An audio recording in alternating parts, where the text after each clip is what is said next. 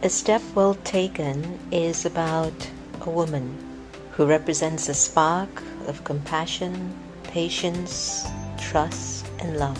The past 10 years, on every June 10th, the Brahma Kumaris has led community initiatives that encourage virtues, values, and spirituality in action.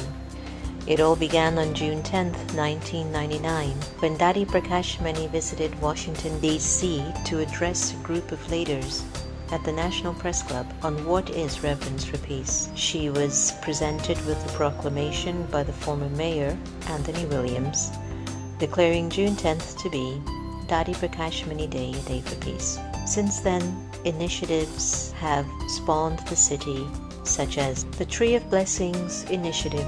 It asked people from the six continents of the world to send in your pure wishes and good feelings for our city at a time when we were going through a tremendous challenge.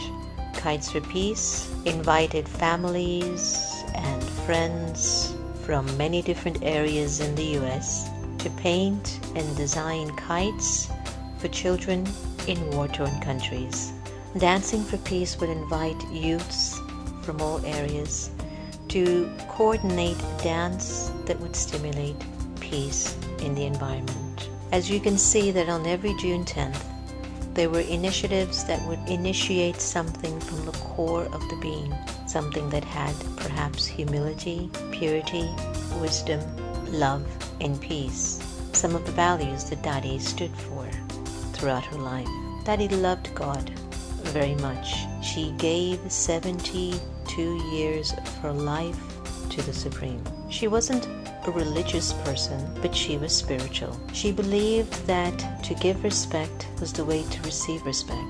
To give love was the way to receive love. Today, the Brahma Kumaris is humbled by the chance you have given us to serve and to be served in the city. Washington, D.C. So today we honor maybe many Dadis that are present in our world today, or maybe many that will emerge from today. But we honor virtues, values, strength of character, consistency, determination, truth, and love. The things required to change our world and the things required to sustain our world. It's in our hands, and it is up to us to be the change, to become the change that we wish to see in the world.